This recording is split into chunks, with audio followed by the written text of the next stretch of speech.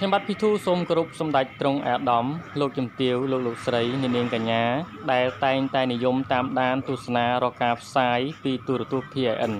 ថ្ងៃនេះ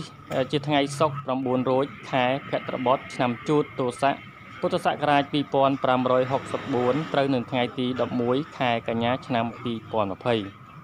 ថ្ងៃនេះខ្ញុំបាទភិធូមានអវត្តមាននៅវរៈការពារព្រំដែនគោកលេខ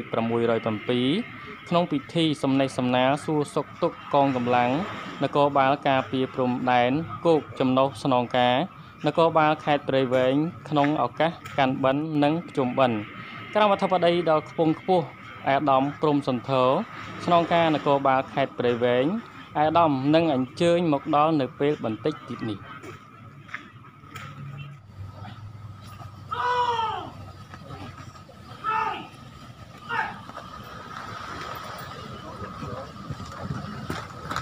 អង្គភាព6ជាមេបជាការរយៈស្នាតូចនគរបាលការពារព្រំដែនគោក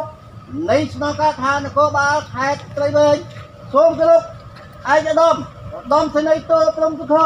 ស្នងការនគរបាលខេត្តត្រីវែងថ្ងៃនេះអង្គភាពយើងខ្ញុំមានកិត្តិយសដល់ឧត្តមឧត្តមដែល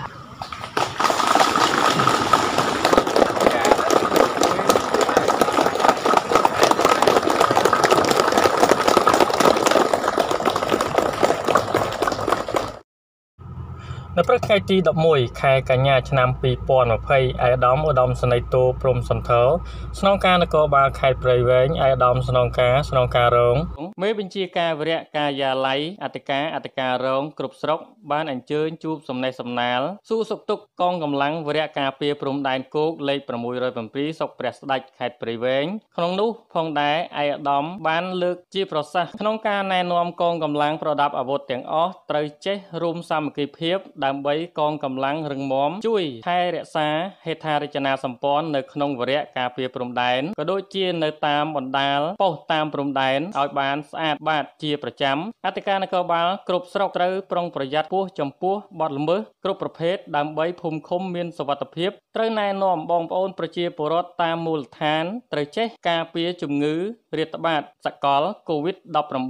ថ្មីត្បិតតែថយចុះមែនពិតប៉ុន្តែយើងមិនអាចមើលឃើញបានទេអាចនឹងផ្ទុះឡើងសារជាថ្មីក៏ថាបាន អ្វីដែលសំខាន់នៅតាមបណ្ដាលប៉ុស្តិ៍ការពារព្រំដែនទាំងអស់ត្រូវទប់ស្កាត់ឲ្យបានជាដាច់ខាត ចំពោះគ្រឿងញៀនឆ្លងដែនត្រូវពិនិត្យឲ្យបានម៉ត់ចត់កុំឲ្យមានការឆ្លងដែននៅសារធាតុញៀនជាដាច់ខាតក្នុងនោះផងដែរឯកឧត្តមបានពំនាំនៅសម្ភារៈរួមមាន អកលចំនួន2កេសម៉ាស់ចំនួន500ដុំមី100កេសទឹកផ្លែឈើ50កេសទឹកអូយ៉េស20កេស និងថវិកាចំនួន20000រៀលឯកឧត្តមបានបញ្ជាក់ទៀតថាសម្ភារៈនិងថវិកាទាំងនេះវាមិនច្រើនទេសម្រាប់កងកម្លាំងតែជាទឹកចិត្តតែជាទឹកចិត្តទៅវិញទេដែលគោរពស្រឡាញ់រាប់អានដល់កងកម្លាំងជាកិច្ចបញ្ចប់ឯកឧត្តមក៏បានជូនពរដល់កងកម្លាំងទាំងអស់ឲ្យជួបតែពុទ្ធពរទាំង4ប្រការគឺអាយុវណ្ណៈសុខៈវលៈកំបីឃ្លៀតឃ្លាតឡើយ បាទនេះគឺជាទឹកចិត្តគោលដៅយ៉ាងមុតមមរបស់អាដាមព្រំសន្ធរស្នងការនគរបាលខេត្តព្រៃវែងលោកតែងតែជួបសំណេះសំណាលនិងសួរសុខទុក្ខកងកម្លាំងប្រដាប់អាវុធគ្រប់ស្រុកដើម្បីពង្រឹងសន្តិសុខតាមមូលដ្ឋាន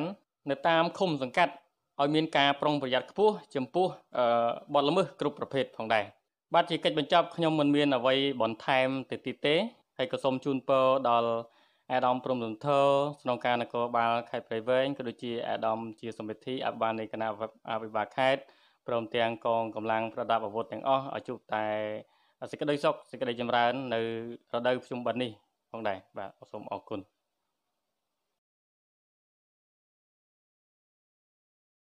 ហាងលក់ម៉ូតូហុនសុកហេងមានសេវាកម្មបងរំលោះម៉ូតូគ្រប់ប្រភេទគ្មានប្រាក់កក់ទំនុកចិត្តមាននៅទីនេះ